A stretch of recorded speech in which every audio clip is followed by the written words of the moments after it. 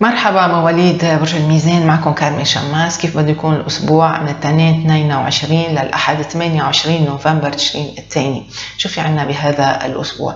هذا الأسبوع في عنا الشمس بتنتقل من برج العقرب بيت المال إلى برج القوس اللي هو بيت الثالث بيت الحركة. وذلك يوم الاثنين 22 بتمام الساعة 4:30 فجرا توقيت بيروت. بتبلش الحركة عندكم. فمغرب انكم تفيقوا بكير أو تحسوا حالكم متنشطين. شو في عنا بهيدا الأسبوع. بدايته كتير حلوة. آه نوعا ما. نهايته معقول تكون شوي بطيئة. يعني في يومين رح بيكونوا أحسن من غيرهم. خلونا نسمع ونشوف.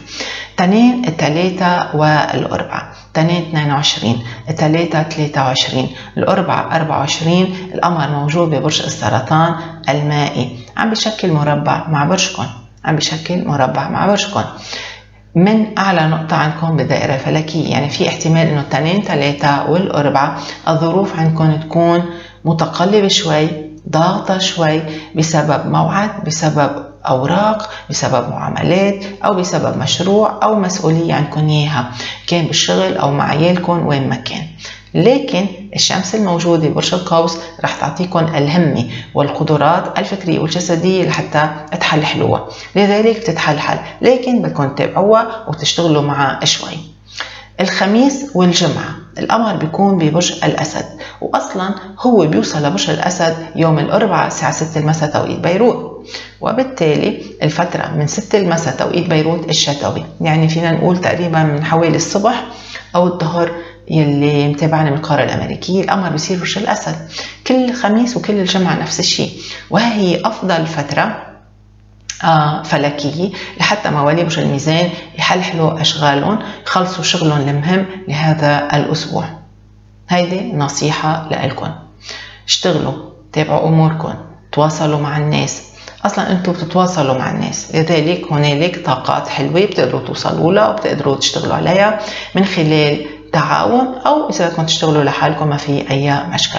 الأمور بتزبط والأمور بتتدبر والناس رح تتفاجئوا ببعض الأشخاص يلي ما كنتوا متكلين عليهم أو كنتوا نسيانينهم بتلاقوا إنه فجأة هول الأشخاص عم يتعاونوا معكم.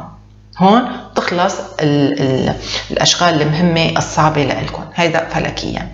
ليه؟ لأنه السبت والاحد القمر رح بيكون موجود ببرج العذراء يلي هو البرج قبل برجكم. لذلك رح بيكون في عندكم نوع من فترة كتير بطيئة. رح تتفاجئوا فيها. ورح تشوفوا إنه شو هالعطلة الأسبوع البطيئة اللي ما عطيتكم شيء وما عطيتكم نتيجة. السبت والاحد 27 و 28 قمر برج العذراء بتهدى الوتيرة تزهقوا ما لكم شغلات تتحركوا ما لكم شغلات تروحوا مطرح. المشاريع عندكم اياها البعض منكم يمكن يلغيها البعض منكم يمكن يأجلها البعض منكم يمكن يغيرها. الشغل الحبيب كنتوا تشتغلوه بعطلة الأسبوع تحسوا حالكم ما لكم جلد حتى تشتغلوا. لذلك يلي لازم تعملوا ويلي ما سمع كلامي واللي ما اشتغل وسبق شغله الخميس والجمعة آه بده يحمس حاله لحتى يخلص شغله. وإلا فيكم تتركوه يمكن للتنين للثلاثة لما القمر بصير ببرجكم هذا إذا بتقدروا. المهم السبت والأحد بعدوا عن المشاكل انتبهوا لصحتكم التأخير في يكون من نصيبكم.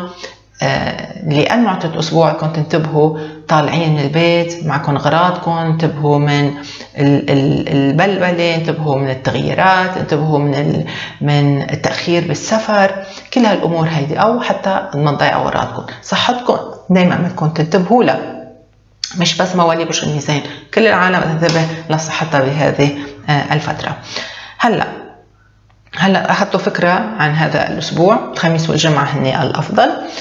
زحل والمشتري بيعطوا تأثيرات كتير حلوة لمواليد 1 2 3 17 18 19 أكتوبر.